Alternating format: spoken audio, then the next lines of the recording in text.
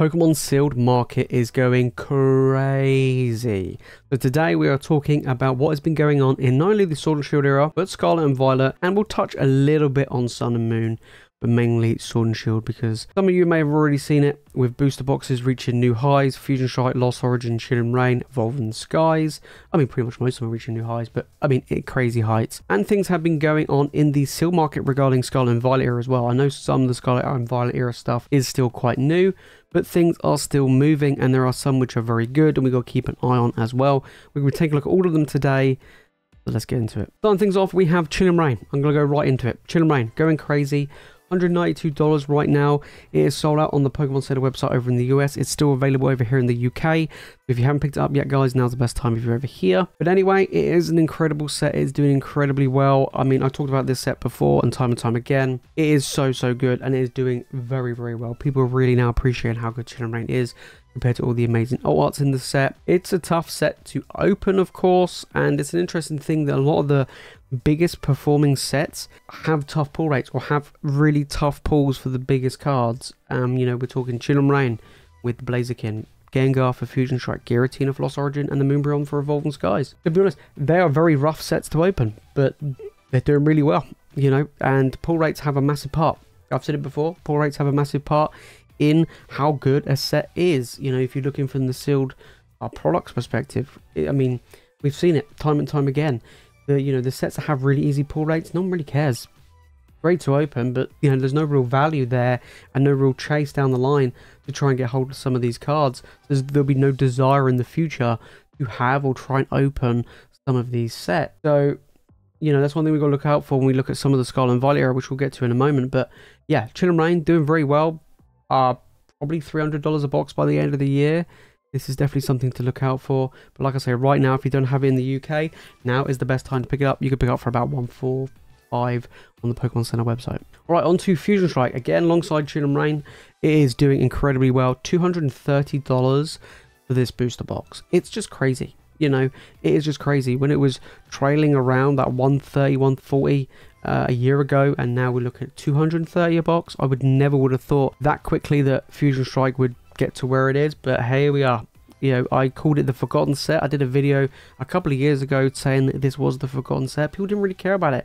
I didn't really care about it, and look what happened. And this was one thing that I actually talked about, and I don't really bring up much, but a while back I remember talking that this set would be very, very expensive because Pokemon didn't reprint it enough because people didn't open it enough. You know, if people open up the set so much, people, uh, Pokemon will look and they'll be like, hang on a minute, the demand is really high for this set, let's get more product out there. People won't open up Fusion Strike. They just weren't. People were still opening up Evolving Skies. People were still opening up Celebrations.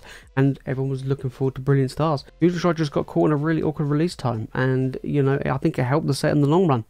And it's doing very well now. Gengar's a chase card that everybody wants, but nobody can get. And, you know, like Chilling Reign, like Evolving Skies, it's going to do incredibly well. And the pull rates are terrible. This is actually a really, really horrible set to open. But you know the artwork in the set is fantastic. The cars in the set are fantastic. It's doing really well. You know, and uh, could it be three hundred dollars by the end of the year? Yeah, you can still pick up over here in the UK for around one forty, one four five on the Pokemon Center website alongside and Rain. Um, get it while you still can because it's pretty cheap over here. All right, on to Scarlet and Violet. I'm going to talk a little bit about Paldea Evolved. Um, Paldea Evolved, in my opinion, is one of the strongest main set uh, releases in the Scarlet and Violet era.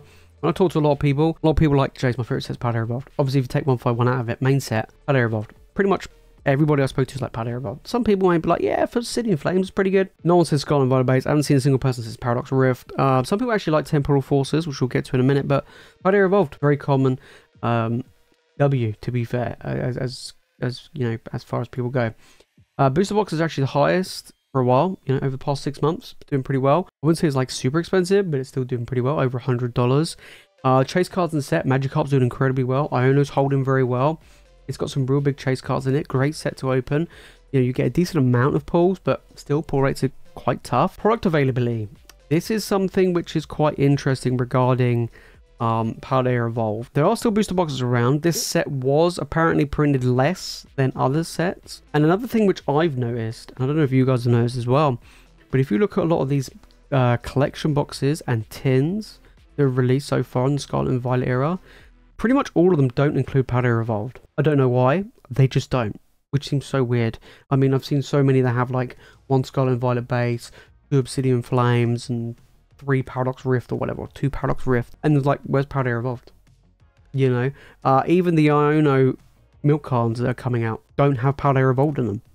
Got Lost Origin, okay, but it doesn't have Paldea Evolved. Very, very odd. So yeah, that might be a sign as well. We've got to keep a lookout for stuff like this. You know, it is a big sign when you don't see, you know, um, product in, you know, booster packs in supplemental products. So yeah, the fact that everybody loves Paldea Evolved and it's not appearing on normal booster packs, aren't appearing in other products, kind of strange. So yeah, this one is going to be an interesting one. Then we're going on to Paradox Rift. This is a, I don't know, I don't know how to rate this one because I like the artwork of the set. I love the future and the ancient theme. Uh, but there's a lot of this product around, like a hell of a lot. Uh, it's $93 a box. It's one of the most cheapest booster boxes going at the moment. There's just a lot of Paradox Rift. And as far as from what I've seen and what we've opened, people aren't that interested in Paradox Rift. Obsidian Flames was quite popular. Paldea Evolved was popular. Temporal Forces has been popular. Paradox Rift, no. To be honest, no. And I mean, like I, like I say, it's super cheap. Uh, you know, pull rates are eh, they're okay, not great. But then on top of that, it doesn't really have anything that everybody wants. I mean, you've got the Roaring Moon and the Iron Valiant, which are absolutely fantastic. But apart from that, I can't really think of much else from this set that I really want to get hold of. If I'm being honest, uh, I think the Groudon might be in this set. Uh, but apart from that, I really care about Paradox Rift. It's kind of weird. Um, you know, this set came out, I think this is like, is this the equivalent? I think this is equivalent of like Vivid Voltage. If you had to compare like the, the release window from Sword and Shield. Cool. I just don't, we'll have to see how this set does, but I just think it might be one of the bottom tier sets moving forward in Scarlet and Violet. Okay, on to Temporal Forces. Now, I actually think Temporal Forces is a good set. Now, pull rates are tough. We can't deny that it is the toughest in the Scarlet Violet era. It is what it is, right? It is super, super difficult uh, to get any of these top pulls. And I've mentioned, like earlier in the video, I mentioned about the pull rates in Sword and Shield. The best sets seem to be the sets that are tough to get the pulls in. This is one of those sets. There is apparently less printed or less availability of this set compared to other Scarlet and Violet era ones due to allocations. Uh, that may be the case. That's something else we've got to consider. Um, but I still think it's based on pull rates. I still think that this set is a good set. Got some fantastic special illustration rares, great illustration rares as well. A couple of like fan favorites as you were, you know, from the Legendary Beasts. It's a brilliant set, I think, in my opinion. I would say this is, I've been comparing this to like the Chilling Reign of this era, mainly because it's got like a ton of good special illustration rares that people do want and do look good. Um, and it has the tough pull rates. Be interesting, you know, $103 a box is slightly going down. It is quite new, um, but I do think Temporal Forces as a potential, um, you know, a bit of a perfect storm there with topple rates and less severe rounds would help this set in the long run. It'll be really interesting to see how it goes, but we've got to keep an eye on it. All right, let's talk about Lost Origin. Lost Origin's doing incredibly well right now. Uh, over here in the UK, this set is just doing craziness. It's like £200 a box, which is crazy. I looked at picking some up. Uh, I picked some up actually like three, four weeks ago, £130. Now it's 200 It's sold on the Pokemon Center website. It's crazy we're going to see the same, like I say, with Chilling Reign Fusion Strike, Lost Origin already doing bits. It's now climbing over in the US as well. I talked about this set, uh, and Reign and Fusion Strike, as being like the ones to look out for a few months ago, and it really is the case now. It just is. This is one that I wouldn't I wouldn't be surprised if this goes the same way as Fusion Strike and Chilling Reign, reaching nearly $300 a box. Uh, top top three set, in my opinion, in the Sword and Shield era. I think it's absolutely fantastic. I love the set. Giratina is the big chase card again. Doesn't have the best pull rates. Extremely tough card to pull. Perfect storm. So yeah, this is going to be another one we got to keep an eye on. It's going to keep climbing month by month. Already in the past month, it's gone up by $30. I expect it to go up even more uh, as the year goes on. All right, we're going to have a quick little chat about Team Up. Of course, Team Up is still ridiculously expensive at over $2,000 a booster box, but it hasn't really climbed much since that big boomer happened uh, at the end of last year, you know, in 2023. We go back six months, and we can see it has climbed uh, by about $200, give or take, which is actually pretty good over the last six months. But this year alone, uh, from January, it's gone up by about $70, $50, $70, which sounds like a lot, but for a booster box that's 2000 already, not a huge amount, but it is climbing. As you can see over the past year, it just did a massive boom that basically doubled in value over the past 12 months, which is incredible. Did incredibly well last year. But yeah, team up still ridiculously expensive. It'd be interesting to see if it kind of just levels out um, and just lingers around that between 2k and maybe I mean, could it be two and a half k by the end of the year potentially, but um, I don't see it going up by a thousand like it did, or at least doubling like it did in the past 12 months. I kind of feel like it might sell just a little bit, but still really expensive. If you want to try and get one of these over here in the UK, good luck. um, it's very difficult, but yeah, uh, it's just doing incredible. We'll have a quick little look at XY Evolutions as well. This is a set which eh, has been bouncing around for ages. Uh, we go back over the past year, and it's actually the highest it's been pretty much on the year, which is actually pretty impressive, over $800. Uh, over here in the UK, this does sell anywhere between 700 to 800 pounds. It really does depend. I mean, we did do a box break recently of this on the channel. It was fantastic. We managed to pull the reverse hollow and the hollow Charizard. It was an incredible box had it in my collection for like two years and we cracked it open and it was just great fun. It really, really was great fun. I would love to buy uh, an XY Evolutions booster box and add it into my collection. Hasn't really gone up much compared to when I bought it. So I'm not too bothered. Um, you know, when I picked up it was like £700. So it really hasn't changed that much in the last two years. So I'm, I'm more than happy to pick one back up again. Uh, but it was great fun and I would love to do it again as well. But this is still a great set. Uh, you know, trying to get back to the highs it was during the pandemic at a thousand. Uh, it'll get there eventually, but it is a slow burner, but it's it's still climbing, which is actually pretty good. And finally, we will talk about Evolving Skies. We can't forget it. It is the top dog right now. $685 a booster box. so uh, over the past three months, it went from 430 to 6. Oh, baby. Uh, it doubled in value, more than doubled in value in three months. So over here in the UK, this is about £600 a booster box which is crazy. Uh, if you could afford to buy one, buy one. If you can't afford to buy one, it is what it is. There's other potentials if you want to look at it from an investment standpoint. You know, Chilling Reign, Lost Origin, Fusion Strike, and some of the other trainer gallery sets. But yeah, this is pretty intense. Will it see any higher heights? Yeah, I, have said before, and I've said a few times, I think it'd be a thousand dollars a box. Um, it is just insane.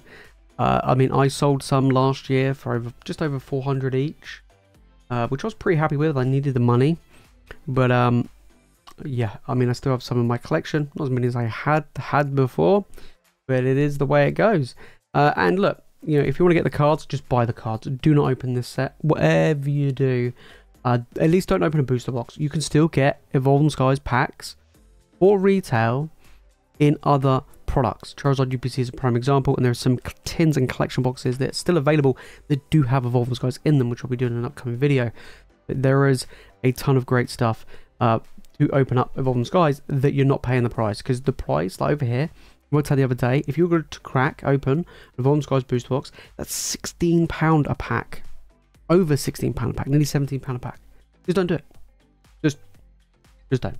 Um, so yeah, this is a great that to keep sealed. If you don't have one, if you do have the money, get it. If not, that's fine. There are other sets available which are very, very good for good returns for the future. So keep an eye out. But I do feel like this will reach a thousand, uh, maybe by the end of the year, maybe 800.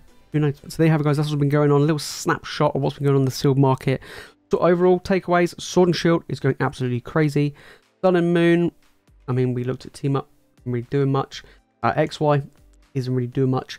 Golden Shield's going crazy. Scarlet Violet, Paldea Evolved and Temporal Forces, I think, are two sets you've got to keep an eye on as they're good sets, good fan favourite sets. Obsidian Flames kind of weak. That's why we didn't look at it. Same with Scarlet Violet base. Um, but yeah, I think Lost Origin, Fusion Strike, Chilling Reign, they're the ones you'll look out for. Warm Skies going crazy, so you kind of want to ignore that. Uh, other sets we didn't really cover today, but we'll be covering them in an upcoming video. Astral Radiance, Brilliant Stars, Silver Tempest, uh, and Battle Styles.